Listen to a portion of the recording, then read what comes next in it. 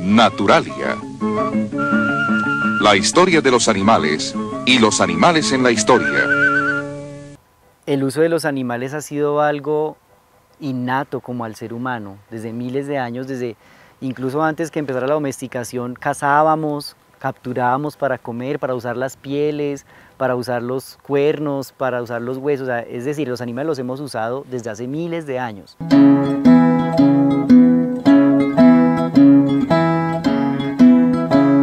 Ariel Marcel Tarazona, trabajo como educador en la Universidad Nacional, trabajo con el tema de bienestar animal y comportamiento animal.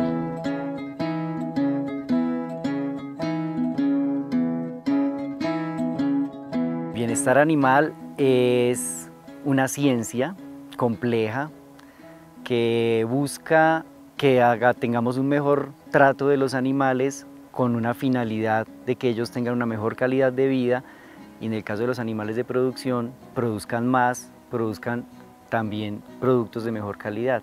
Mm, empezó cuando se publicó el libro Animal Machines de Ruth Harrison, donde ella simplemente lo que hizo fue visitar sistemas de producción, mostrar cómo se estaban haciendo las cosas y se dio cuenta que había cosas que la gente no sabía, cómo estaban los animales, que estaban en lugares a veces encerrados o muy hacinados.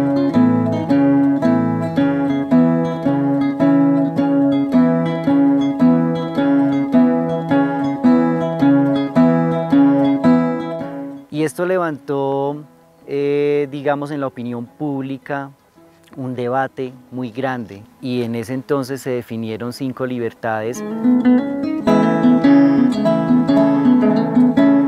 Tener hambre, no tener sed, no tener dolor, ni sufrimiento, ni miedo, y poder expresar los comportamientos normales, que la vaca pudiera pastorear, que la gallina, por ejemplo, pudiera escarbar, y que estas libertades, algunas de ellas están usualmente restringidas en los sistemas de producción. Estamos hablando de los años 60.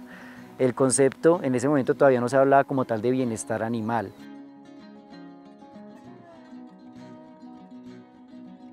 El bienestar animal es una ciencia.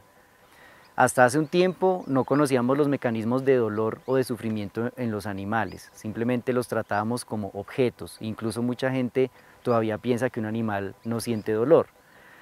Ahora ya sabemos a través de la investigación que los animales tienen todo un sistema sensorial que les permite sentir dolor, sentir sufrimiento, expresar emociones.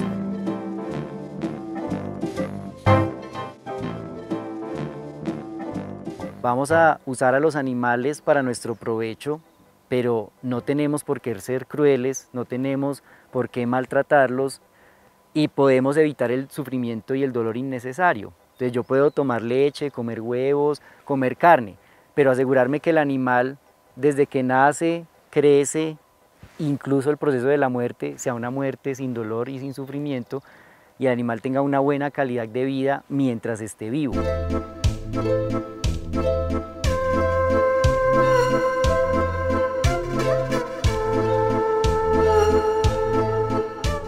Estamos en San Pedro de los Milagros, Antioquia, en una hacienda que se llama Ovejas. Es una hacienda que tiene un manejo de lechería especializada y que tiene un manejo con buenas prácticas ganaderas, que tiene un manejo que va a favor de la calidad de vida del animal, que cumple con muchos criterios de lo que llamamos bienestar animal.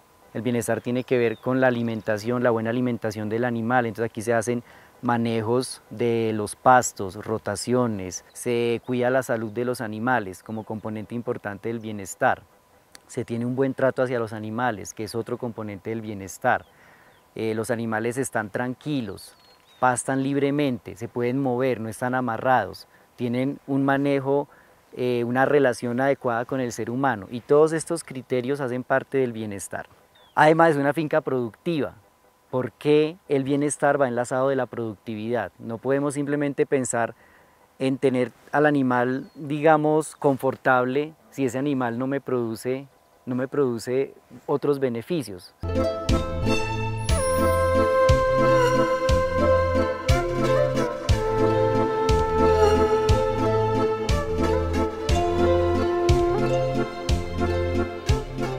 eso realmente es un sistema que uno podría decir es de vacas felices. Así como venden huevos de gallina feliz, que uno los ve en los supermercados. Uno puede hablar, ah, yo te ofrezco leche de vaca feliz.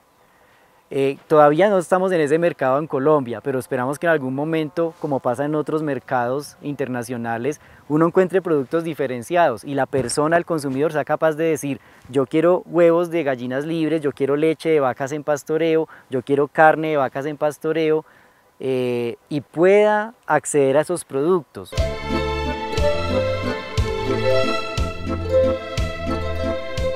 Pienso que después de muchos años Tal vez la humanidad llegue a eso, porque finalmente encontraremos que los animales son individuos eh, únicos que tienen sus características individuales y que merecen un respeto por la vida.